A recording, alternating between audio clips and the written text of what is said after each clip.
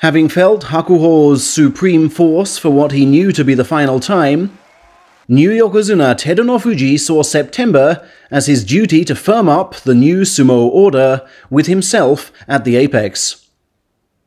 What we got from him was an intense, purposeful first day ceremony and authoritative display to that effect, leaving challengers not so much trailing, but actually searching for his tire marks. Teru was grateful for this opening bout against a friend who, when facing him of late, has shown Gandhi-esque commitment to non-violent protest. Hoshoryu proved his dislike with the use of actual tactics, but his obliquely attacking body was clamped, smothered, and thrown with the coolness Teru demands of himself in unfavourable positions.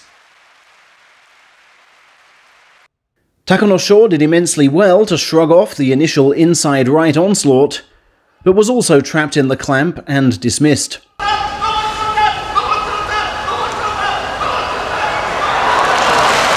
Before a deft shuffle and pull then did for Hokutofuji. It was not until day 5 that Teru's sweat truly poured, with Kiribayama digging his head in low for long periods to ward off assault.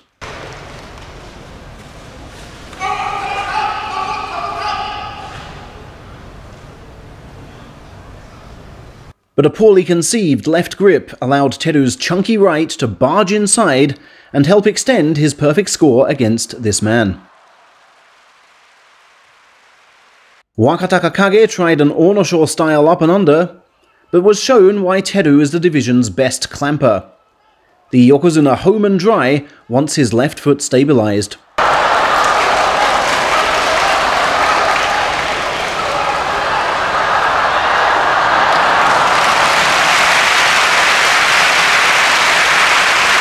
Flashes of strength and ingenuity aside, Kotonowaka posed no major problems on day 7.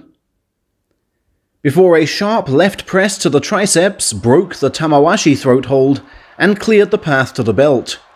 The win taking Teru to 8 and 0 for the third meet straight. But a third perfect run to double figures was thwarted on day 9, as Mercurial Daieisho rediscovered his playbook from months before keeping head and shoulder to the right to forestall the outside left, then standing Teru up from down low before breaching the armpit.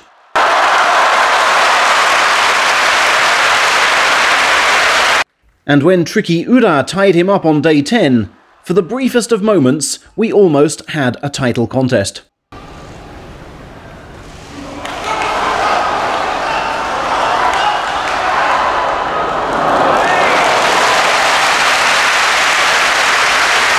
But this grab over the top left the crowd so certain of what was to come that they groaned in disappointment.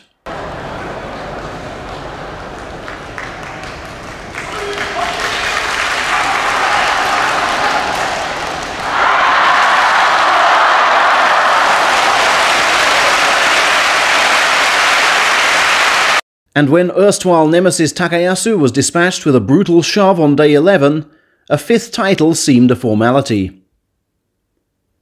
To some surprise, Meisei finally beat him from the inside on day 12, setting up potentially exciting showdowns with his three main title rivals in the home stretch. But Sumo Chiefs, who knew Hakuho was quitting, had their own different agenda, and handed Teru his original fixtures against the three next highest men on the chart, all of whom were non-title contenders. His surge to glory was therefore inevitable, and he became only the fifth man post war to crown his Yokozuna debut with the title.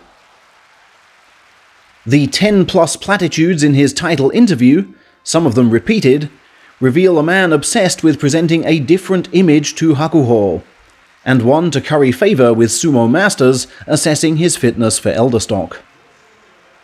But one platitude was indeed highly accurate.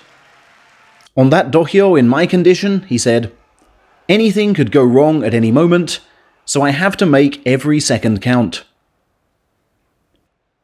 These seem the words of a man who sees Yokozuna as a 10 tournament job. But what do you think?